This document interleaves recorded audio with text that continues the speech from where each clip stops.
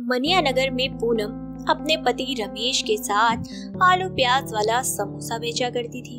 शादी से पहले रमेश का काम बिल्कुल भी अच्छा नहीं चल रहा था, लेकिन जब से पूनम उसकी ज़िंदगी में आई थी, उसकी किस्मत चमक गई थी, क्योंकि अब आलू प्याज के समोसे का मसाला पूनम बनाया करती थी। ऐसे ही एक दिन ठेले पर पूनम जब से तुम आई हो सच में मेरी तो किस्मत ही बदल गई है। अरे कहाँ पहले मेरे ठेले पे एक परिंदा भी नहीं आता था? और अब देखो लोगों को हमारे समोसे खाने के लिए लाइन में लगना पड़ता है। जी मैं तो कुछ भी नहीं करती। मैं तो बस आलू प्याज मिला के मसाला बना देती हूँ। हाँ बस वही। तुम पता नहीं कैसे बना लेती हो? मैं इतने समय से तुम्हारे जैसा मसाला नहीं बना पाया।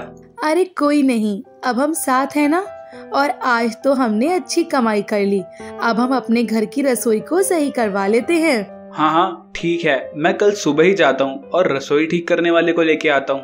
रमेश सुबह होते ही गाँव में मजदूर तलाशने के लिए निकल जाता है। वह पूरे गाँव में घूमता है और खुद से कहता है अरे कहाँ मर गए गाँव के सारे मजदूर? भाई कोई नज़र ही नहीं आ रहा है। अब और कितना चलूँ मैं? मैं तो थक गया हूँ यार। तभी उसकी नज़र पेड़ के नीचे बैठी एक लड़की पर जाती है जिसका नाम आशिका था जो दिखने में बेहद सुंदर थी पर वह ज़ोर ज़ोर से रो रही थी। अरे ये लड़की कौन है?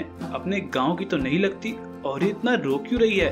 एक बार जाके पूछता हूँ क्या पता मैं उसकी मदद कर सकूँ। तभी रमेश उसके पास जाता है और कहता है अरे मैडम आप इतना रो क्यों रही हैं? क्या बात है? देखिए ऐसे रोइए मत। देखिए आप जो भी हैं यहाँ से चले जाइए। मुझे अकेला रहने दीजिए। भगवान ने मेरी किस्मत में रोना ही लिखा है। देखिए आपके साथ जो भी हुआ है उसमें भगवान का कोई दोष नहीं है। अरे आप ऐसे हिम्मत मत आ रही है आप मुझे बता सकती हैं आपके साथ क्या हुआ है?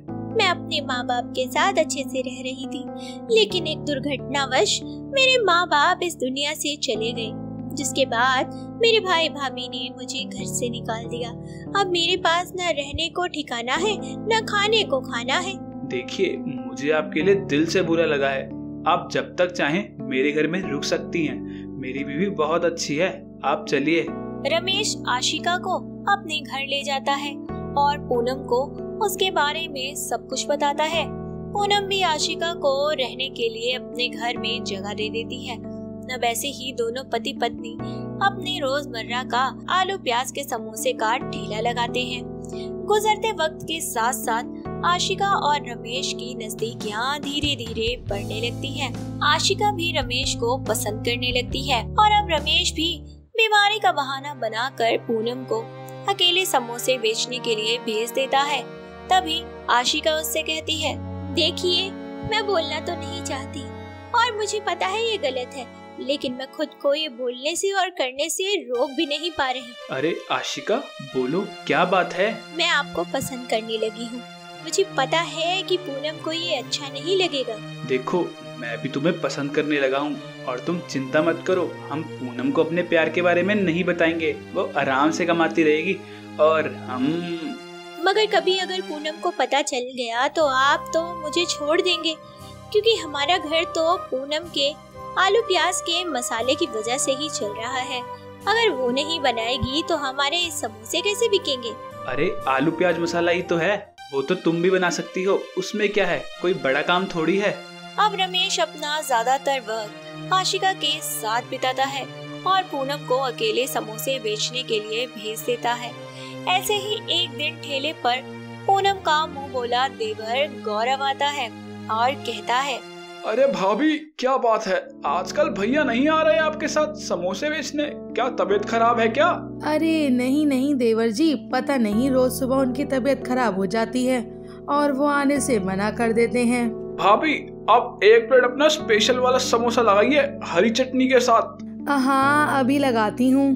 पूनम जल्दी से गर्मा गर्म समोसे गौरव को देती है और गौरव खाकर उनकी खूब तारीफ़ करता है और बोलता है आ भाभी, मज़ा आ गया। ये आलू प्याज वाला समोसा खा के और हाँ भाभी, हम सुने हैं कि आपके घर में एक लड़की आई है। और मैं देख रहा हूँ, भाभी, जब से वो लड़की आई है, भैया आपके साथ आना बंद कर दिए। कल भी हम उनको मार्केट में घूमते देखे। देखो, भाभी, हम कोई आग नहीं लगा रहे, लेकिन हमको जो लग रहा है, वो बता रहे हैं। बाकी आप ज़्यादा समझदार हो। पूनम गौरव की बातें सुनकर सोच में पड़ जाती है और उसकी आँखों से आँसू बहने लगते हैं। वह जल्दी से अपना ठेला गौरव को सौंप घर जाती है, जहाँ वह देखती है कि रमेश आशिका को गले लगाए प्यार फरमा रहा है। वह उन्हें देखकर बोलती है अरे शर्म आनी चाहिए आपको। अपनी पत्नी को धोखा देते हुए। अरे आपके लिए क्या नहीं किया मैंने। आपने आज मेरा विश्वास तोड़ दिया। इस कल की आई लड़की के चक्कर में। बड़ी उम्मीद। हाँ तुम कल की आई लड़की मुझसे ज़्यादा अच्छी दिखती हो।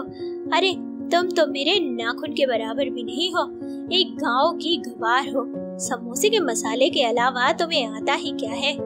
सही कह रही है आशिका। अब मुझे तुम्हारी कोई ज़रूरत नहीं है। मैं अब आशिका को अपनी पत्नी मान चुका हूँ। तुम मेरे घर से जा सकती हो। समझ आई? अपने पति का ऐसा व्यवहार देखकर पूनम का दिल टूट जाता है और वह बेचारी रोते हुए वहाँ से चली जाती है। रमेश और आशिका उस पर हंसने लगते हैं। पूनम तर बदर की ठोकरे खाने लगती है। तभी उसका देवर गौरव उसे देखकर बोलता है अरे भाभी, क्या हुआ? तुमने अपनी ये हालत क्या बना रखी है? तुमने सही कहा था रमेश जी, और उस आशिका का चक्कर चल रहा है। उन दोनों ने मिलकर मुझे घर से निकाल दिया। हे भगवान, मैंने तेरा क्या बिगाड़ा, जो तूने मुझे ऐसा पति दे दिया, जिसने मुझे धोखा देते हुए एक बार भी नहीं सोचा। अब मैं क्या करूँगी? कहाँ रहूँगी? कहाँ जाऊँ? ऐसे में तो मैं कुएँ में कूद जाती हूँ। अरे भाभी, आप संभालो खुद को और आप ये मरने की बात मत करो।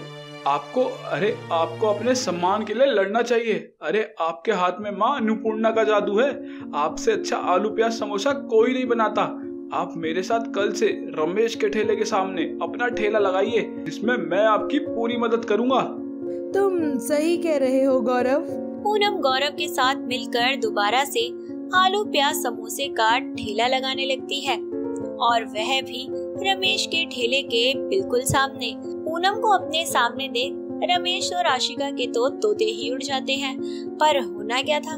रमेश के समोसे की बिक्री हो तो पूनम की वजह से ही रही थी ना?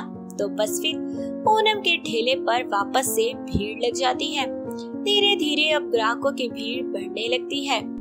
अरे पूनम बहन कहाँ थी आप? आपके आलू प्याज समोसे कितने मिस कर रहे थे हम? वो रमेश के समोसे में तो बिल्कुल भी स्वाद नहीं है। आप जल्दी से चार प्लेट समोसे लगाओ। जी शुक्रिया भाई साहब मैं अभी लगाती हूँ। गौरव ने पूनम को प्याज समोसे वाली के नाम से एक छोटी सी स्टॉल लगा दी थी। वही रमेश के ठेले पर अब मक्खी के अलावा कोई नहीं था। तभी आशिका उससे कहती है अरे तुम किसी काम के नहीं हो। अरे तुम्हारी बीवी तुमसे मिनटों में आगे निकल गई और तुम उससे इतने सालों में मसाला तक बनाना नहीं सीख पाए। लानत है तुम पर। अरे ये तुम क्या कह रही हो? तुम्हारे चक्कर में मैंने अपनी अन्नपूर्णा जैसी पत्नी को धोखा दिया और तुम मुझे ही सुना रही हो। तुम जैसी लड़कियाँ ही हम जैसे लड़कों का घर बर्बाद करती हैं। अच्छा मैंने किया तुम्हारा घर बर्बाद। तो ठीक है पड़े रहो अपने इसी ठेले पर। अरे हाँ चली जाओ। एक तरफ़ गौरव और पूनम पूरे गाँव में मशहूर हो जाते हैं। उनका आलू प्याज का समोसा जगह जगह फ़ेमस होता है। गौरव और पूनम एक अच्छा सा घर लेकर रहने लगते हैं। वहीं दूसरी तरफ़ रमेश को गुजारा करने के लिए भी अपने समोसे का ठेला और घर दोनों बेचना पड़ता है और वह खुद से कहता है भगवान तूने मेरे साथ बिल्कुल सही किया है। मैं इसी लायक हूँ। मैंने अपनी लक्ष्मी जैसी पत्नी पूनम को धोखा दिया है। अरे, मेरे साथ यही होना चाहिए। अब रमेश को ज़िंदगी भर अफसोस में रहना पड़ता है। तो दोस्तों, कैसी लगी आपको हमारी आलू प्याज समोसे वाली कहानी? हमें कमेंट करके बताएँ।